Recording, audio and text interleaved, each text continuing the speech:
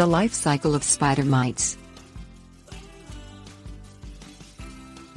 Spider mites lurk under leaves of plants in greenhouses, gardens and fields where they may cause extensive damage to the leaves of plants and trees.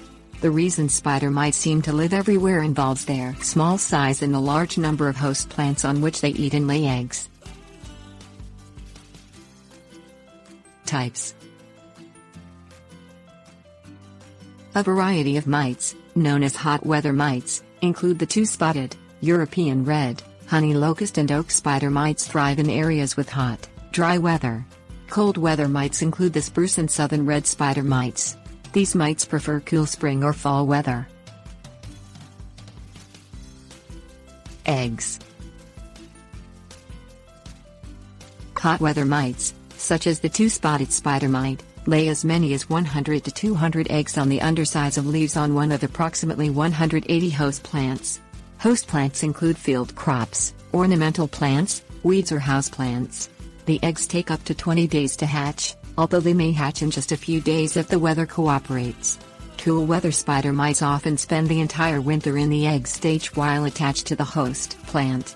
The eggs begin hatching in the spring.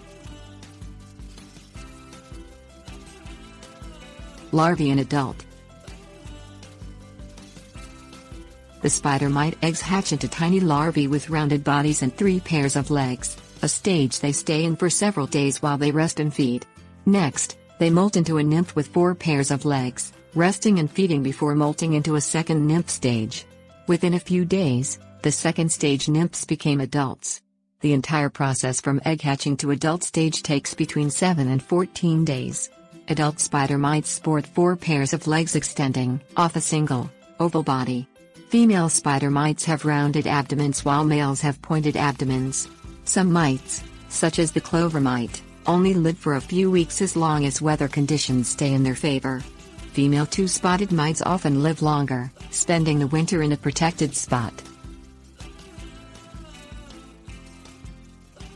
Feeding Spider mites feed by piercing plant tissues with their mouth parts, then sucking out the plant fluids. They usually feed on the undersides of leaves. The leaves started to look mottled or speckled in appearance once the mites infest the leaves. When large numbers of mites attack leaves, the foliage becomes webbed.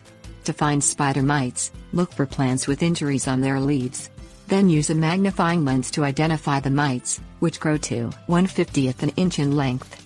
Sometimes spider mites coat the foliage with fine silk webbing that catches dust, making the plant look dusty or dirty. Control Detecting spider mite before damage takes place works as the first step in controlling the pests. One method of control includes the use of strong jets of water to knock the mites off plants. The use of beneficial mites, including Phytoseiulus persimilis, also helps eliminate spider mites. Other predator insects such as ladybugs and lacewings also work to rid crops of spider mites. Otherwise, insecticidal soaps and oils or pesticides are options to rid plants of mites, although they are somewhat resistant to pesticides.